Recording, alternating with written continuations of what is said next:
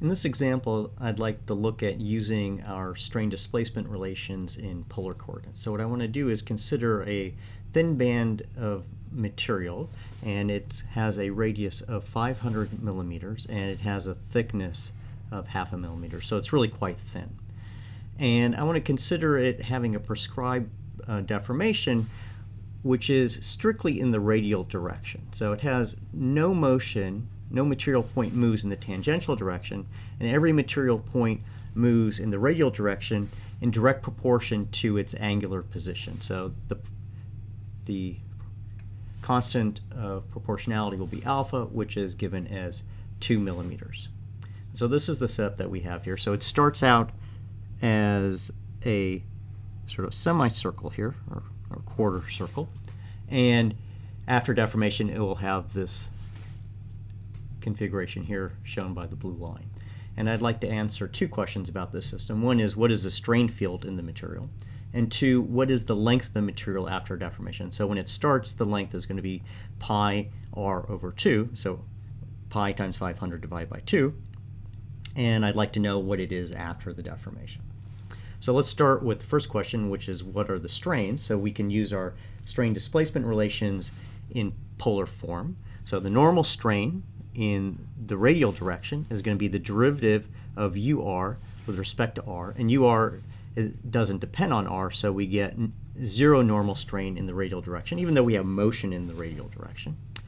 The normal strain in the tangential direction is given by this relationship here, and we can plug in for u theta and ur and do the calculation, and we find out that we get alpha theta divided by r. So this little r here is the position of material points inside the band and the material points vary from a radius of 500 millimeters to 500 and a half millimeters. So they're not varying very much in the system. So we, will go ahead and approximate this normal strain in, in, the tangential direction by alpha theta divided by capital R, which is a constant here. So, so that's a small error. It's about a tenth of a percent that we're making when we make that approximation.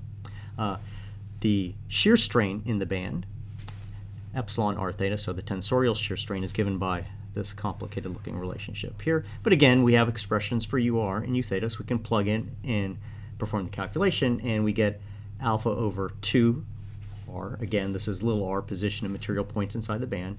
And for the same reasoning as we had with the normal strain in the tangential direction, we'll approximate this by alpha divided by 2 capital R. So we'll take it as a constant. So that gives us our strain uh, inside the band. So there's one normal strain in the tangential direction, and then there's this shear strain alpha over 2r. So now let's go ahead and look at the next question, uh, which is what is the length of the band after we're done? Okay, so, so let's consider the band here, and let's focus in on a small segment of material that is just sitting right here, uh, which has an angular extent of d theta. So d theta we're going to consider to be small. So the length of this little segment of material is r d theta. Okay, and let's consider what happens to that.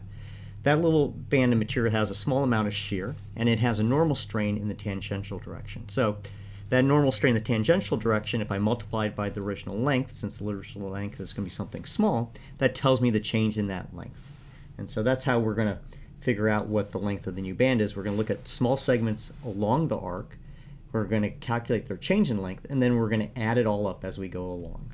So after deformation, the length of this little arc of material is going to be the normal strain, epsilon theta theta, times the original length. So that gives us the change in length. And then we add to it its original length. And so I can rearrange that expression as 1 plus epsilon theta theta times r d theta.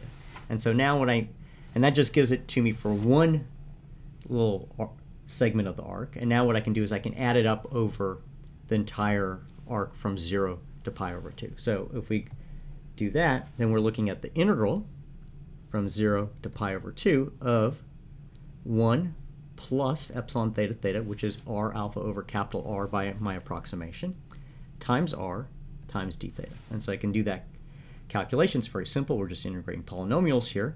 And the end expression then is this guy here. So pi r over 2, that is the original length. We can call that L0. And the change in the length is given by alpha pi squared over 8. And so if we evaluate those numbers, then we find the new length of the band to be 788 millimeters. The original length was 785 and, a, and 0.4. So there's about a, a two and a half millimeter lengthening of the band when it undergoes this deformation.